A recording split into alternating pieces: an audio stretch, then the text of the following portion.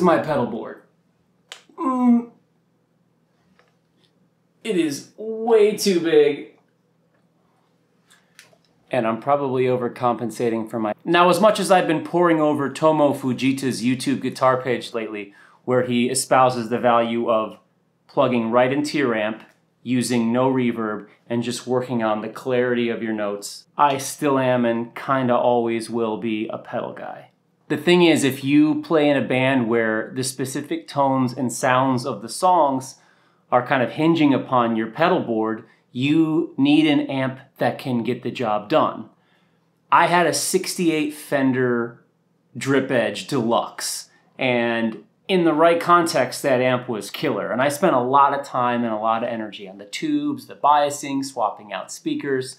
The second my band was playing on a bigger stage, like a House of Blues or a festival outside stage, if I needed to get my sound, the volume up, and still kind of have clarity in delay or a modulation or a reverb, the thing is I couldn't get the headroom of the amp loud enough so that the effects would stay clean they would hit the front end of the of the power tubes and just get muddy and thubby and tubby.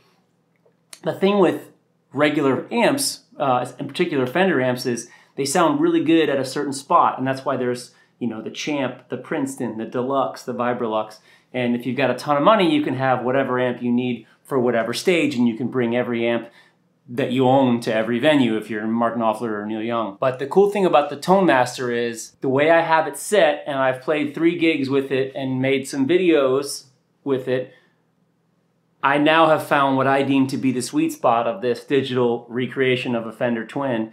And now I just adjust the attenuation on the back depending on the room. But this is a serious pedal platform amp. I think the limitation of the amp in this case, which is its digital nature, is also the benefit in terms of a pedal platform because you can adjust your output depending on the context and really dial in where uh, the front end of the amp you want your effects to hit. Because it's digital, you're not going to get that sort of like smashing the front end, your delay and your modulation gets all janky and warbly and, and distorted in a bad way.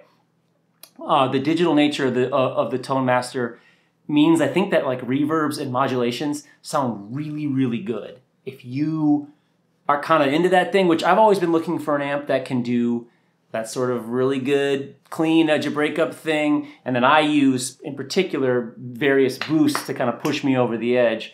But I want to be able to do that, and then I want to be able to fall back on some really neat, interesting modulated reverbs, some really clean, pristine delays.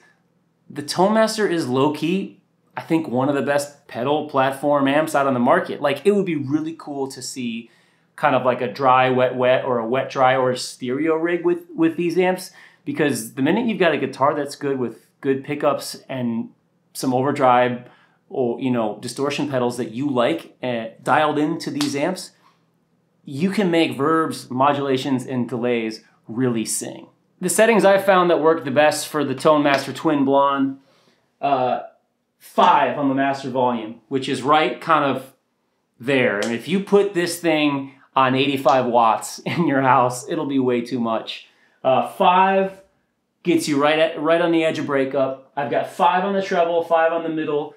The digital bass is a little much, so I come down to three. It's kind of how Jerry Garcia set up his twin anyway.